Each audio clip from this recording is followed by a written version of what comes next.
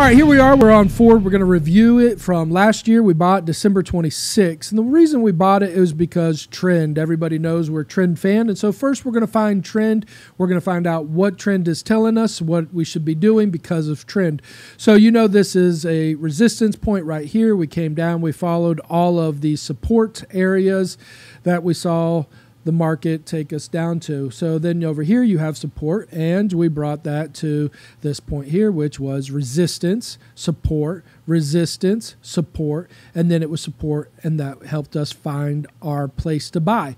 We also came across here at support, support, and came straight across horizontally, it also helped us pinpoint the place to buy. Once we found this, we bought in, we went up almost 40%. We are holding this still, and we are coming down into a Fibonacci retracement level. So our trend because we bounced off here was able to say this was a support line now we have another support line if we look a little closer onto this, we're going to start thinking about the trade. The trade of this says from bottom to top, we take our Fibonacci. We can trade our first trade at 61% Fibonacci. So, of course, we broke through, closed above. That gives us an entry point. Today, we closed below the 61 Fibonacci. So, we can buy. So, whatever your buying position is, if it's uh, $10 to $10,000, it doesn't matter. You know what your portfolio tells you to buy. So you can put your first entry right here. Of course, you see this. We have resistance, resistance, old resistance makes new support. We broke out here, had a little resistance, came back down, new support, new support even lower, new support now. So that's why this doubles as confirmation. 61 broke, and now you have a support level resistance to buy in. But where could this go? We also have these other lines that we used from the past, and the market could take it down a little bit lower. If we look at this next lower line of support, it would be a six. It's almost 7% lower, which is quite a big takeoff from the high. If we went down to this diagonal, which would be a double top, this would be almost 11%. If we went below that, it would be almost 25% off of the current price from where we are right now. That would really talk about a devastating market for it to go down another 25% lower, which would give us a divergence, obviously, because this low, uh, this would be a lower low. And so I'm sure on the VSI or the RSI or on the STO, that it would make a divergence, which would be another great buying opportunity. But for right now, we're looking at the 850 range to buy today, or that it would come down to the $8 range to buy if it comes down lower, or obviously back down to our lows that we bought at at $7.50 and that would be 10% off. Now, the thing I want to look at of course is the overall markets. And what are the overall markets telling us? The overall markets are telling us for entering this trade, there is a little bit more down to the downside. And so we want to make sure that our stock is equal with the overall markets and what they're doing. So if we look at just the closest support line, we have support there, we have support there, we're coming down. If we take this candlestick and we come down, that is a 2%. So our first support line is around 2%, which would prove where we're buying, there's not much more downside. Next support line is 6%. So remember what I said? We had a uh, 2%, then we had a 7%, then we had an 11% to the downside. So if this comes down, breaks this little support line, comes down to here, which we have support back here and here and here, which gives us support here, which would be 6%. So if we look back at Ford and we were to calculate that as from this bottom right to here, that's 11%. I just don't think the market's going to pull back to 11% or even lower. I think it will probably stop here and turn or stop down here. But again, however you're going to play this trade, you can buy a percentage here, you can buy another third here, you can buy another third here.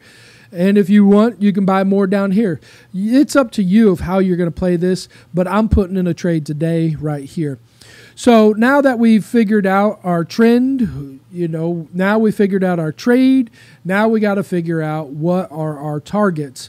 So from standpoint of targets, I'm going to just delete everything out. And I'm going to start drawing some lines. Where's this thing going to go? Where's our support? Where's our resistance? And, you know, for me, I think that this thing will probably come back to the highs. You know, it's crazy to say you're at $8.50 and you think this thing's going to come all the way back to $32 which is what four times the money. So you could make almost 400% on this thing if it were to bring all the way back up to these highs. Oh sorry i was wrong. 300% profit. Uh, what happens all the time in the market? You know this when you watch the ipo entry place uh, something comes to market it goes up or down. Most of the times it goes down. Where does Warren Buffett buy? He buys at the 50% off the highs. So, you know, this is the perfect thought. Are we going back to the highs? Ford is a stable company. I mean, they have tons of market share. To think that they're not going to come back to these $32 highs is a little ignorant on our part. They're, what are they in the money? The business of is making money. What are they doing in uh, Palo Alto? They're getting tech so that they can start implying tech into their cars so that they can be the cutting edge of uh, envy of everybody else. So, of course, we have a support level here. We have a support level here. We have a support level here. We have a resistance here. So, I draw that line, and that takes us to about $16, which would be almost 100% profit, where that would be our first takeoff point. Our next point is you see this nice horizontal line that comes across here. You have resistance, resistance, resistance, resistance, resistance. So obviously, right around this $18 is another resistance level. If maybe this comes out, maybe in a year or two, uh, this 16 a diagonal line would come up to this 18. So that would maybe be your first target zone. If you saw this as support and then here your support, longer support, here's resistance, that takes you up in the 24 to $26 range. And of course, this is going to take a year or two.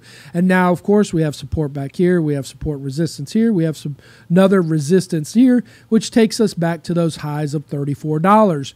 So maybe in a five year term, you turn that thing over 300% profit in five years. Fantastic returns for you, almost 50% a year. I know we're waiting for this to break out, but once we break out of this line here resistance, resistance, resistance, resistance, resistance of course, then we are expected to be in an uptrend. So again, my first thoughts is that this is going to one double, right? As if you've watched the range trade, you see that we could take this box, we can activate that up, we could push that over, and where does that take us to? It takes us to a small high right here, right around $13. So you could buy this, sell it at $13, and that would give you a nice profit margin of 60% profit. When can you make 60% profit in just a small time of a year or two? I don't know. That's why I trade the stock market because it gives you the best returns. So, my first would be right around $13 right off of this high here where these two pivot points come into play. 1330 would be my first. My second would be probably $18. My fourth would probably be up here around 26 and 34. And just a little added bonus for you. You can see we have resistance, resistance, resistance, support, support, and we have a pattern that closes us in anywhere between $8.11 uh, to where you are right now. Uh, added bonus for you to be able to confirm all of these things added up. This is a great buy zone. Until next time.